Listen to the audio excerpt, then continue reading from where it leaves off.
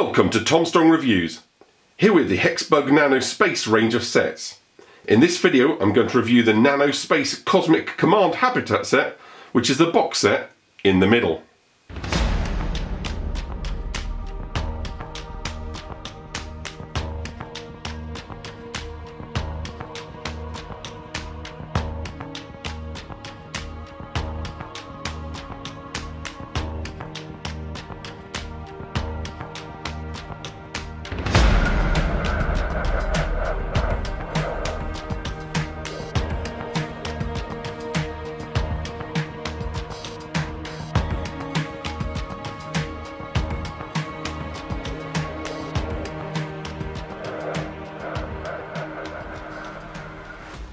Everything on the table is included in the set, that's 92 pieces in total, and that includes these two Hexbug Nano V1s, I'm going to call them my Space Rangers. They both have LR44 batteries included, so they're ready to go. This build is the same setup as is on the front of the box, and I don't think it's actually that clever because you've got the doors a little bit close to the central command centre. It's a little bit hard to get access to the door header clips to open and close them. And also, the Nano truck and the great space truck, when it comes trundling forward, it's going to hit any poor old Nano in this Gravity Zero gravity trainer, and that can't be great when you're trying to learn. So I'm going to focus on this review, especially on the Nano spaceship on the far right there, and the special platform and arrangement to get in and out of the ship. Let's do a rebuild and get on with the review. Here's my build. I'm going to show you and talk about the various details as we go, but let's get the Space Nano Rangers in their environment. Now I've set up the doors in such a way, thank you, this guy's going to almost demonstrate so array, no thank you, turned around, let's get him out of the way, such that the trucks can have a good isolation aspect, so I can shut the inner airlock door, for example, and in doing so I can then control one by one the nanos getting to and from the actual space trucks. Now I've got the same setup at the back far right. I'll spin the set around as we go.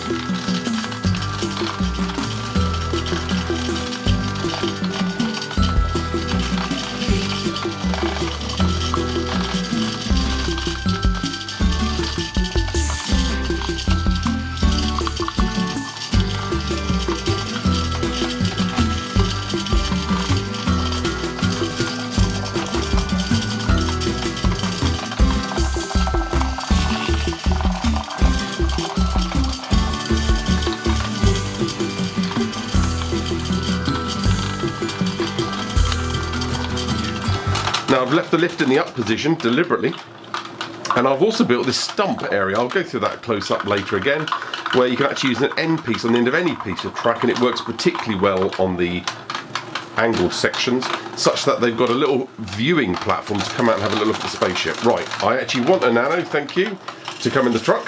No, this guy decided he wants back in. Turns around and this time he's in the truck. Now he's obviously in the fuel truck. And guess where he's going? I've lined it up so he's going to head towards the spaceship so we can do a fueling exercise, he can do an inspection. Now again it's a play element, so here I'm talking about we've now fueled the ship, it's going to turn around, these guys need a little bit of help, they mostly drive in straight lines. Not quite the case when they're in the nano spacesuits, I'll show you the, the, the big EVA suit there. They need a little bit of help getting back into the base. I'm going to do the airlocks properly once, there we go, and he's back in again. Now I'm going to say they can remote control these trucks and he's reversed back up again, brilliant. I'm going to quickly pop this grey Space Now in his EVA mini spacesuit. Now they don't drive as well in this, make sure it's all popped in properly. Now they can go all over the place as you can see, hovering around, but because it's quite heavy, they need a little bit of help in these. They also do work inside the sets, but they're more likely to get stuck on things and need a little bit of help. He's playing around the zero G area now, but he's not doing too bad. One of the other nanos is bound to give him a push. He's rattling away.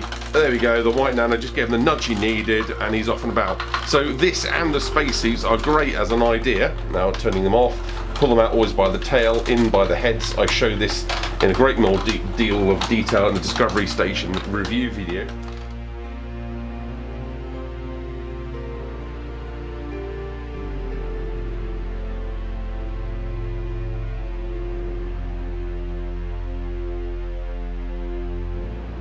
But I'm going to now drop the lift and I'm going to watch for the first nano to come into the actual lift section. Now of course I'm, I'm asking to go in the lift, no one's going to, although I've got a nice zip line space nano here, checking the ship, having a good look around, and I'm hoping to get one willing pilot. I'm going to lift him up in the lift, we'll do this close up. As you can see he's now up on the right platform, now I'm going to just hurry him along because I want to grab him and of course I want to put him in the spaceship and then he can fly away. Now also when he comes back of course down on the lift and he can join his buddies down on the deck. Now you want to make sure when you drop the lift there's no Hexbug nanos in the base and if you're lucky like I was no nan nanos will be harmed in the making of this video. A great deal of this set focuses on the spaceship and the lift arrangement and this piece here to get them in and out of the ship. So I've got myself a willing Hexbug Nano Space Astronaut, so I'm going to pop in the lift, I'm going to cheat a little bit and I'm going to actually put him in, save time. Now I've reviewed the lift in detail and the zip line set, you can see all the details of the lower side of the lift. I'm going to raise the lift and click it in the up position, and now the nanos come out, okay he's fallen over but he's self-righted, and he's looking for a ship. Now as you saw he turned around and he headed towards the lift and I'm blocking him, and if I don't block him, he'll go in the lift, and he's now going to stay on the lift because he can't turn around the lift and that's one of the features of the lift which works great in the zip line set because the zip line set when the nano goes up he goes off down a wire rope and he skadoodles down to another part of the set.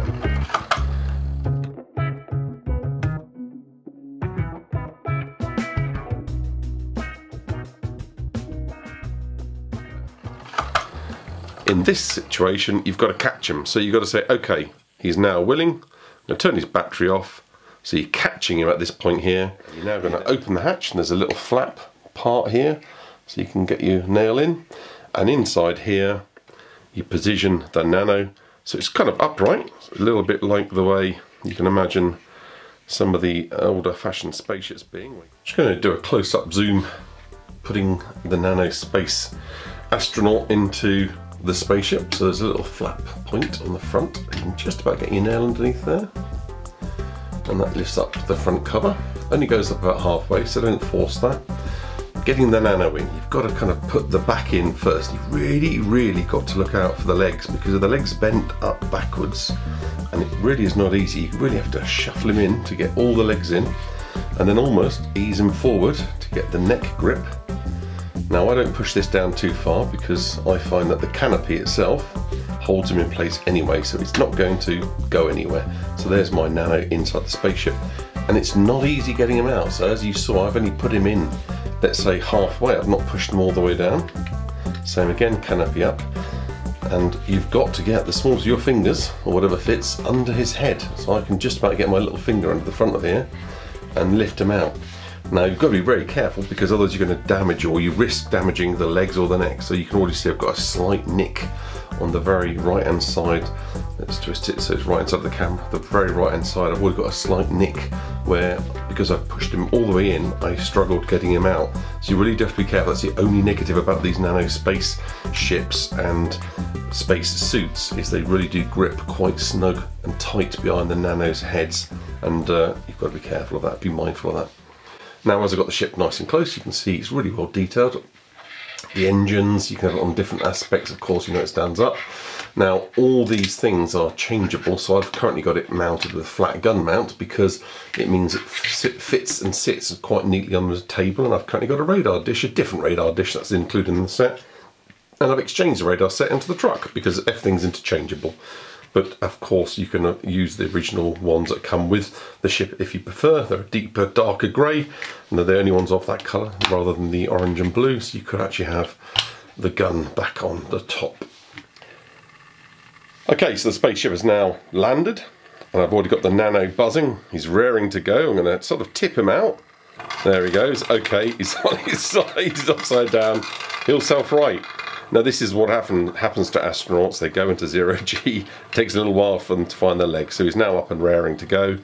He's in the lift and I can now lower him gently down. So here we have another Hexbug Nano, just a regular V1. They also all fit within the actual spaceships. Now you saw there the problem. You've got to catch him. So if you want a Nano to go into the rocket and he comes out, unless he's just doing an inspection, let's pretend the white one was doing just an inspection. I'm going to grab the brown one now. If you don't grab them, he jumped around in the lift. That doesn't happen. okay, so I'm going to grab the white guy again. Here comes the white guy. So up he comes, and if I don't stop him, if he turns around and heads towards the lift, he'll go down. And that's the thing, because the lift, there's no turnaround option at the upper part of the lift. So it's up to you whether you want to have and build this configuration the same way. Now let's say he was doing inspection, absolutely fine, no problem at all with that. There's no problems doing inspections. But the other tip is, when they do come out of here, make sure the lift is in that position because they go down, he's now stuck in there and I'm to have to reassemble this unit to get it out. It's very difficult, even if I lift this, it's very difficult for me to get him out of a halfway up and halfway down lift. So if your nano goes on the top of the lift, can I actually do it on camera? You never know. Not easy at all, as you can see. So be careful. I've separated off the central command structure just to show you how the default instructions suggest you build it, as well as to give it a quick spin so you can see all the really amazing detail that this has. So there's all kinds of textures and different symbols all around. Definitely the headquarters where the chief Hexbug commander would reside. So this is the default build with one side and one central tower, but you might want to use the tower in another purpose. And I'm going to quickly rebuild it. And what's probably my favourite, because it's economical with the walls, is the two-sided version. So I've got the walls opposite each other in this setup. Of course, you can actually have it angled. You can have the two staggered. As long as it's stable and sturdy, I think that's the ticket. And of course, you want to have enough entrances and exits. this nano is getting dizzy as well as access because if nanos do fall over your wanting track like that, couldn't have happened better on cue. This guy's now falling for the camera. Then you still need to have a decent amount of room to get your hands in and out and I think the two walls on the side give good access to the front and rear. And here it is with three walls. So I've spaced them out in the normal way. You've still got three entrances or exits, depending on how you look at it. So you can have this as a spur end to a, a, space set, or of course in the very, very middle, where of course you could have track cam of all the three available entrances and exits. And of course the main advantage again is you free up the tower, and the tower of course you can then use in multiple ways. I wanted to make special mention of this piece here because I'm a little bit disappointed. It's, it's an opportunity missed. It has a fork it goes right and left, but the end piece is already moulded and blocked off.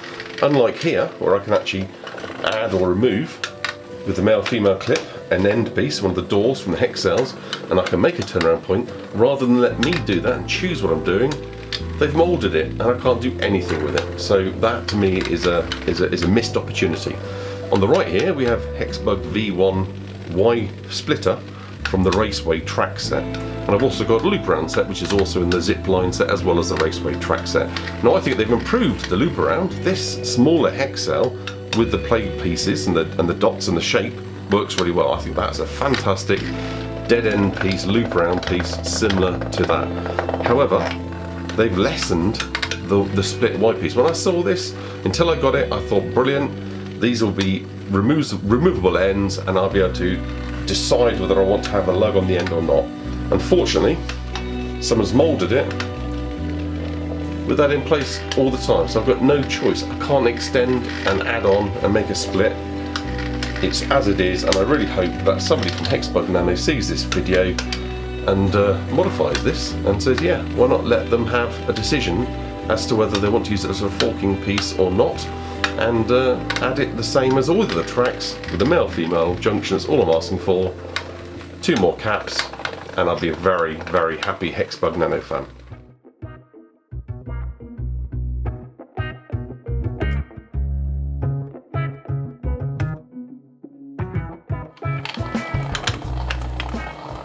I've made a mini moon base just so we can zoom in and look at some of the details just to show you how effective these kind of windows are and the amount of detail in the actual units themselves. So there's raised textures, it's not just print.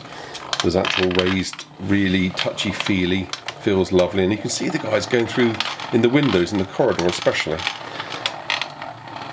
I'm actually going to spin this round so we can really get a good look. But first I want to zoom in get this lovely blue and orange consistency throughout. There they both go, that's what I wanted to catch, thank you guys. I'm now going to spin this set around.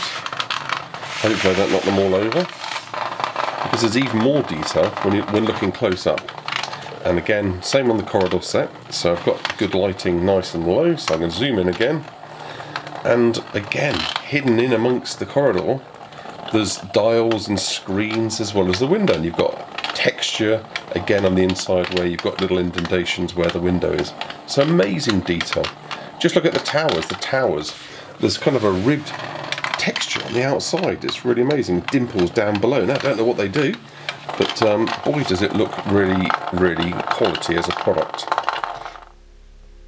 There's a great deal of versatility with the Nano Space range. With common sized lugs and pieces, you can even do quite weird things like put the ion cannon on top of your spaceship. So that is now a far more formidable weapon. I've popped the spaceship's radar dish on the top of a tower. Why not? Because I want this to be my science lab. This lab you can build in many ways, and if you have different multiple sets, you can even make it taller because you can stack the walls on top of each other. You can or can't have then topped by either the hinge angleable shield wall or this top lid. You don't have to, as the set explains, build it with a tower piece in the middle. It doesn't need the central support if you have at least two walls. This Y split piece is very good on the ground. It doesn't actually need to be on its plinth and I quite like it on the ground. I think I prefer it because you know pieces go back.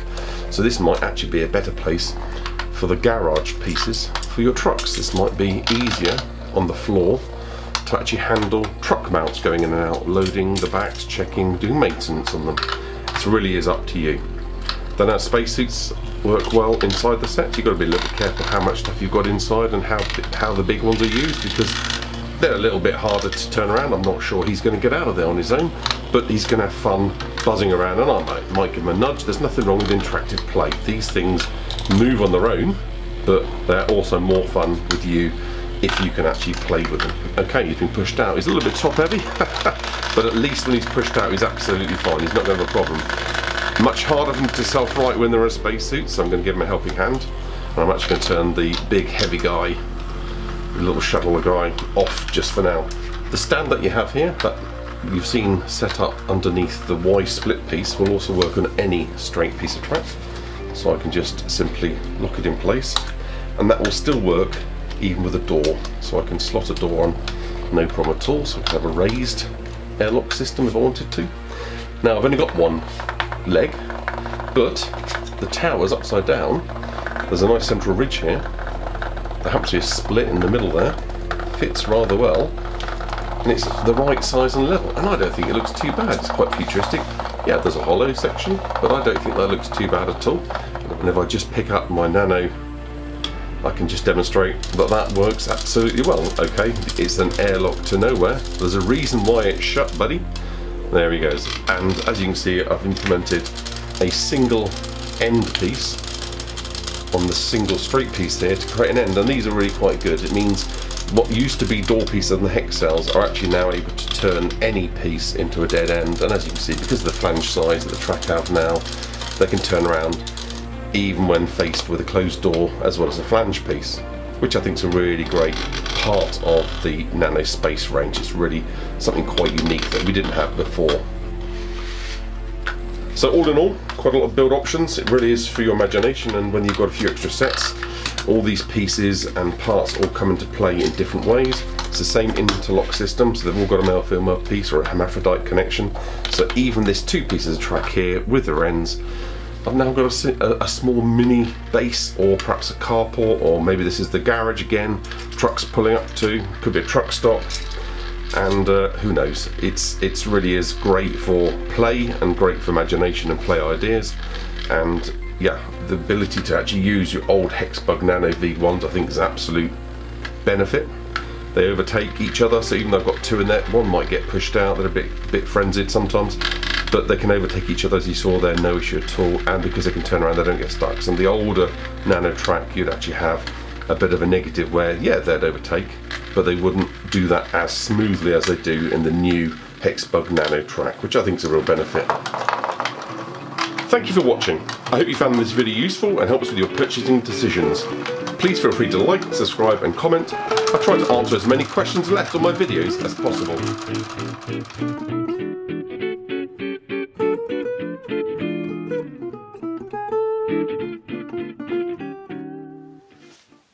In reviewing this Cosmic Command Habitat set, I'm also going to assess the value for money and what would I do next with my money.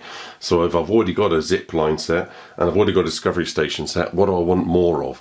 So in doing that, to just consider the special pieces in the Cosmic Command set, I'm going to just quickly highlight them.